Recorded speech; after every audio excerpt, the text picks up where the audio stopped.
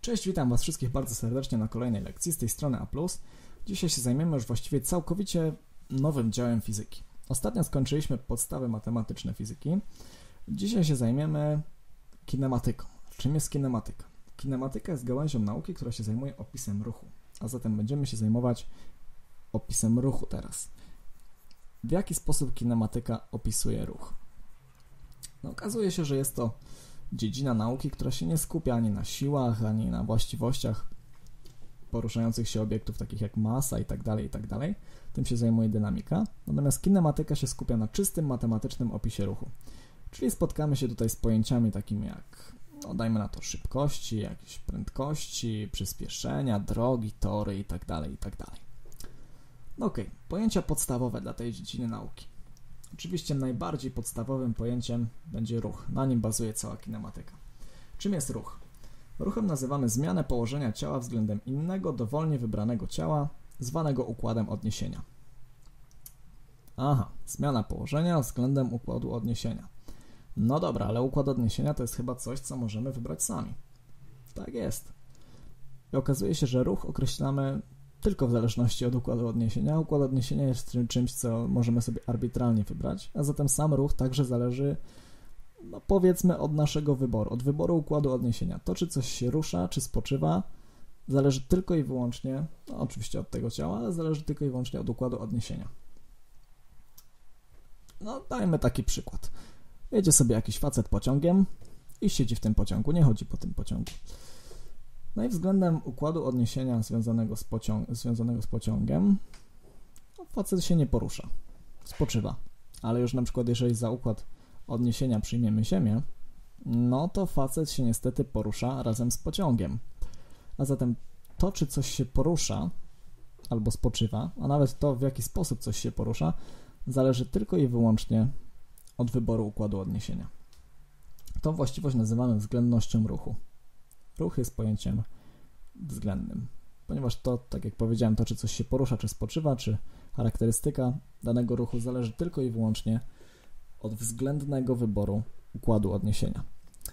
Ruch dzielimy na dwa podstawowe typy ruchów, na ruch postępowy i ruch obrotowy.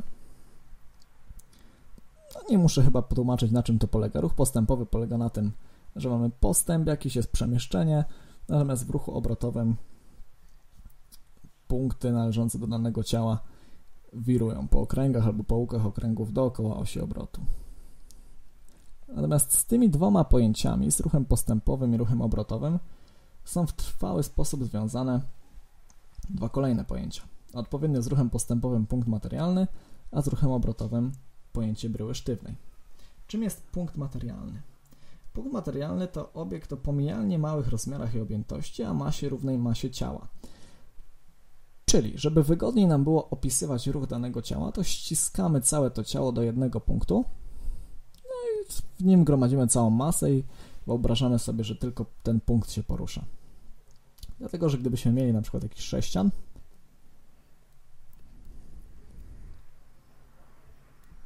i on będzie się poruszał tylko i wyłącznie ruchem postępowym, to każdy punkt tego sześcianu będzie się poruszał w dokładnie ten sam sposób. Jeżeli sześcian będzie się poruszał tak, to ten punkt będzie się poruszał tak, ten punkt będzie się poruszał tak i tak dalej, i tak dalej. Każdy punkt będzie się poruszał w dokładnie ten sam sposób. A zatem możemy cały problem uprościć i ściągnąć cały sześcian do jednego punktu, który się będzie poruszał w ten sposób. No ok, a czym jest bryła sztywna? Bryła sztywna jest ciałem, w którym odległości pomiędzy poszczególnymi częściami, elementami tego ciała nie zmieniają się bez względu na działające na to ciało siły, czyli nie zależy to od działających na to ciało sił. Odległości pomiędzy poszczególnymi punktami są cały czas takie same. I to pojęcie się przydaje, przydaje przy opisie ruchu obrotowego.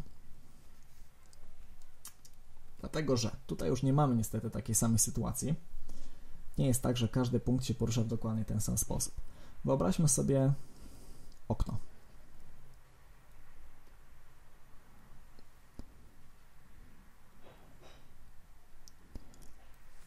Okno, które próbujemy zatrzasnąć.